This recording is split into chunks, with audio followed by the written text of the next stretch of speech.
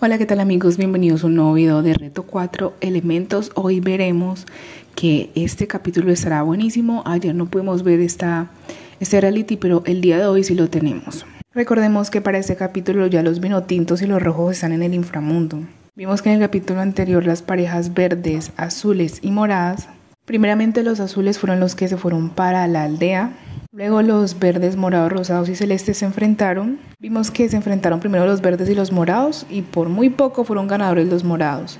Luego se enfrentaron los celestes y los rosados y fueron directamente a la aldea. ¿Ustedes qué opinan de esto? Déjenmelo saber en los comentarios.